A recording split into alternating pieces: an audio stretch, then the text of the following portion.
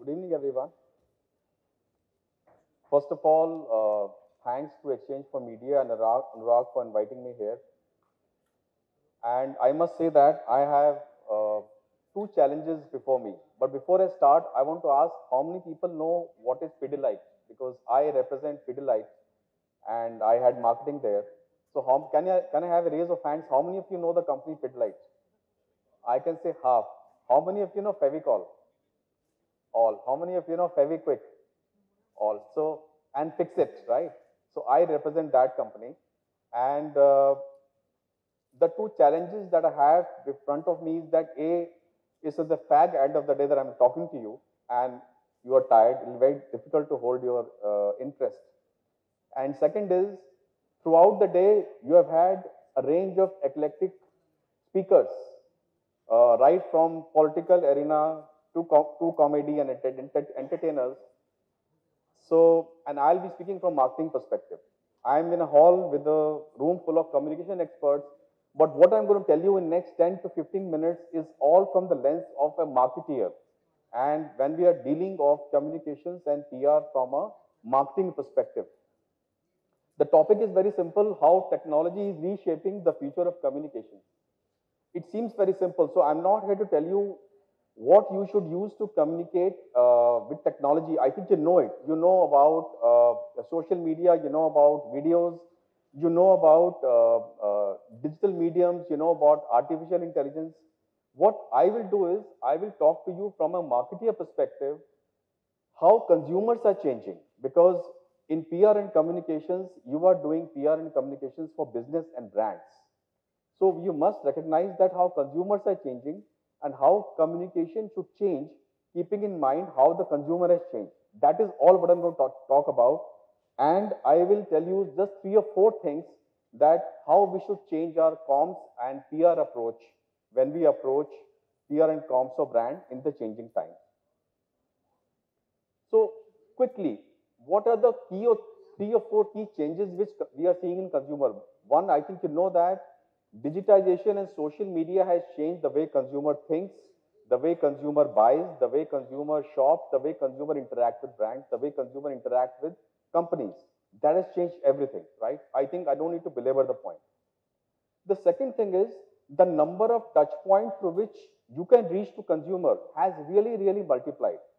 For marketeers, it's not just about, you know, uh, the point of purchase or point of consumption or television.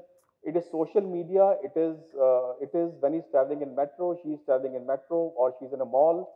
The touch points are multiple and touch points are 24 by 7.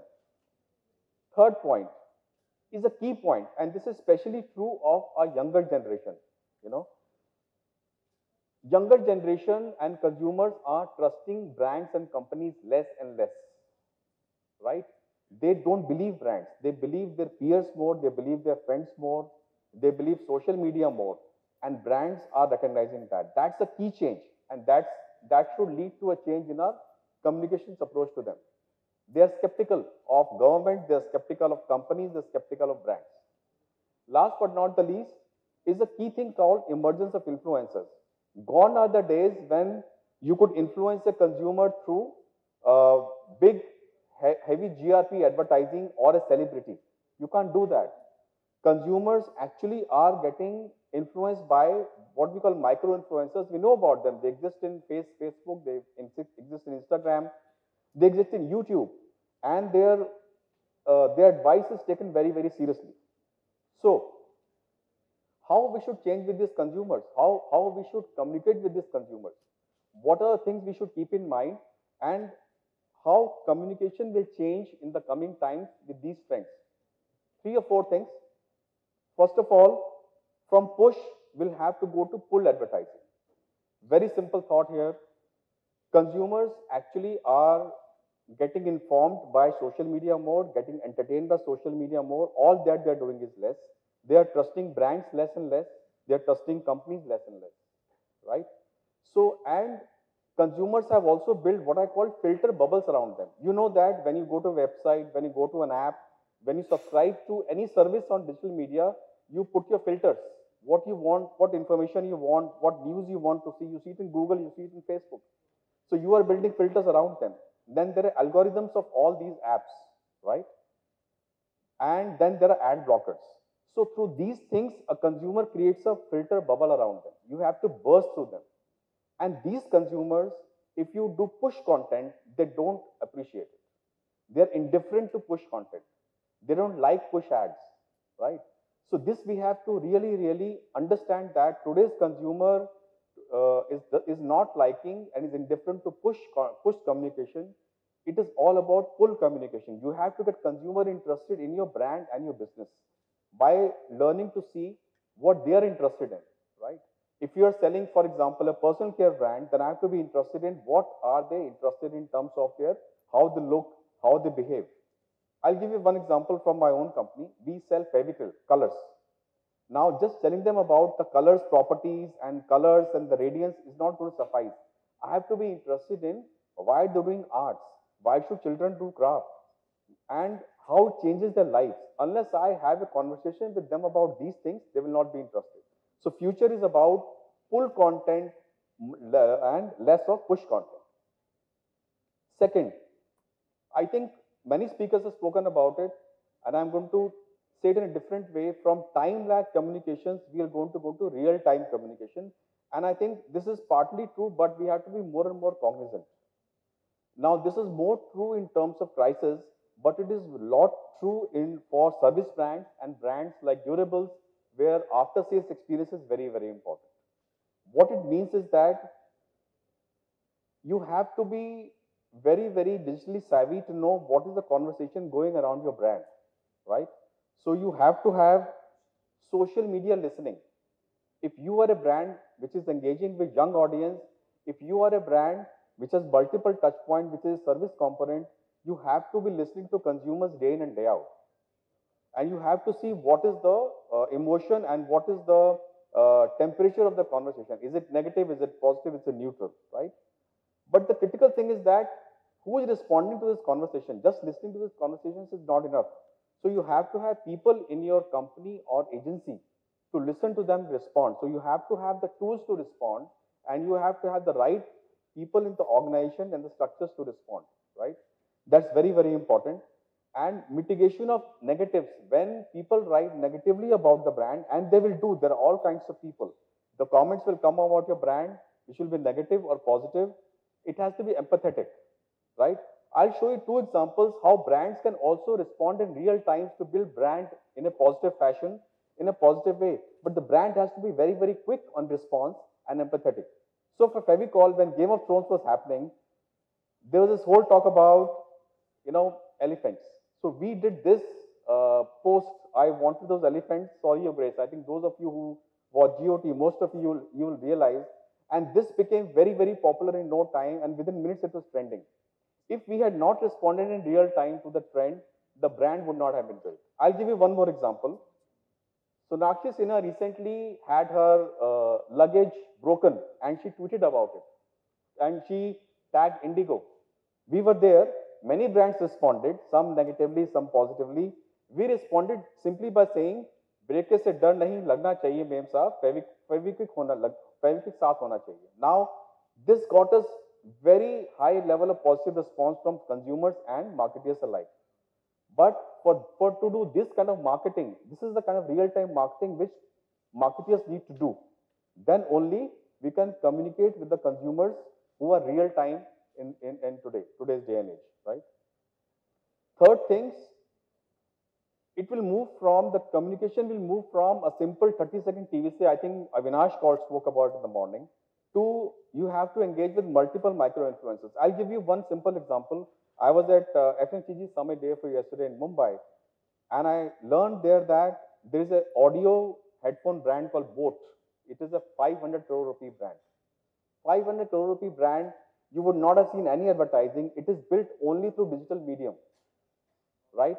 So today's scalable brands, big brands can be built with audiences, uh, only through digital medium and micro influencers. And there are many of you in the room who are very, very young, unlike me, who actually believe these influencers far more. So the job of the marketing and the comms people like you in the room is to ensure that we cultivate these micro influencers, we give them the right information about the brand, and we get them to engage with the brand and write about the brand. That is the communication that we need to do, not a big push advertising all the time. Okay, this is one example of what we're doing on Instagram for Fevicryl colors. Now, those of you who do art and craft, you would know that art and craft is actually pushed by hobby teachers, hobby classes, right? But there are people in this field who have a huge following. We engage with all these people to create different kind of content, different kind of art. And our Instagram page and our Facebook page is a very active place where all these macro influencers are engaging with my, my consumers, right? But I am catalyzing this on my social media. This is the communication we should do and we are doing for Fevicryl. And this is what brand should do. It is not one push advertising. It is engaging with the macro influencers. But I have to say that engaging with micro influencers doesn't mean that choosing 30, 50 micro influencers, paying them money, of course, and giving them a press release.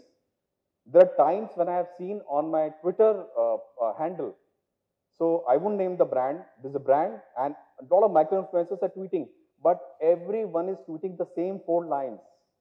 Now, that is not micro influencer marketing, which means you give the PR release to micro influencers, everybody out of sheer laziness is tweeting the same things you would disengage with your consumers if you do that rather than engagement. And last but not the least, I think I don't want to belabor the point, but content, and I'll give example here. I think it has been spoken about, brand need to tell stories more than advertising and talk about testing, uh, sorry, uh, thumping the chest, this is what I am, this is what I do.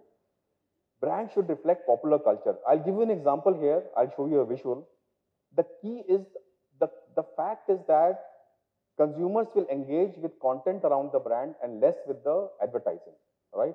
Brand has to have to tell stories and user-generated content. This is a very, very uh, tired point everyone is making, but I'll illustrate that in a minute.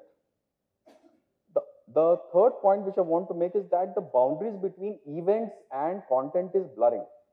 Whether it is Red Bull, whether it is other brands, brands are doing events for PR and PR is being done for through events. So the, the boundaries are blurred completely between PR and marketing. So if you take, for example, and, and third, uh, I'll just go here. Fevicol, how many of you seen this ad, sofa ad, right? Sofa ad you have all seen, it's a very popular ad. Here we are not talking about Fevicol, we are telling story of a sofa, right? And this ad we shared on the OTT platform as a content. So we called it 1959 Love Story.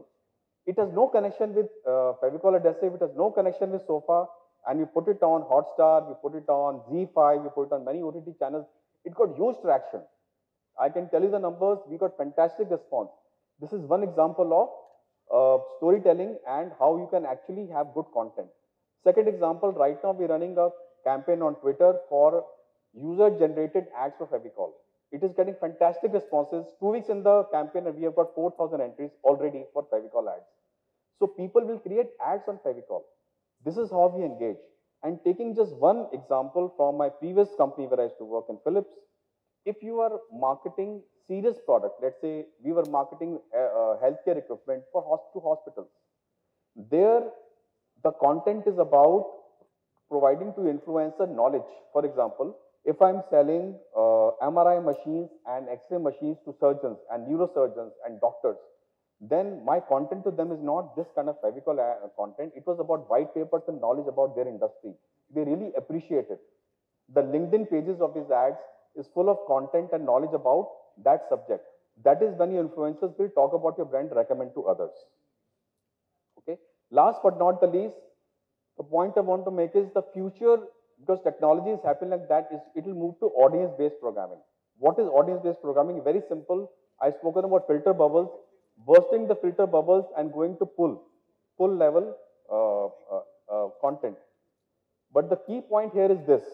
Consumers want to talk about their life, careers, relationships, brands, technology, film, social responsibility, now plastics, CAA, all these kind of things.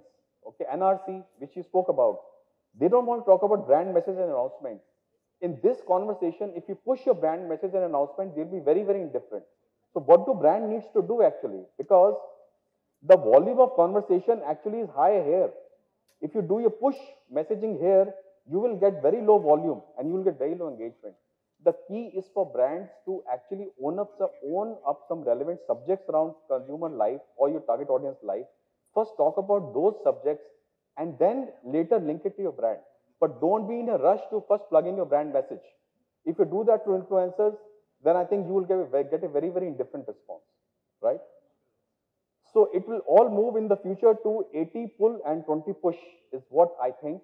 And it will move from post to narratives. The, the last point is for pe people like me who have worked in the industry for around three decades, there was a time when marketing and PR were separate. So we used to say PR is do product launches, this is the press release, okay? PR is not about that. PR is not about writing press releases. That time, some of my learned PR colleagues used to tell me, PR is about actually placing your content in such a medium that they get favorable response, pro bono placement in newspapers, in magazines. People trust them more. What are we doing now 20 years hence? We are doing influencer marketing. What PR was saying how to reach to your consumers and influence them by placing them in credible mediums, we're doing now with the help of digital mediums. Just a minute. So from marketing and PR being separate, PR is actually right come in the center of marketing. And I think we should be very proud of that. I want to end with this and thank you very much.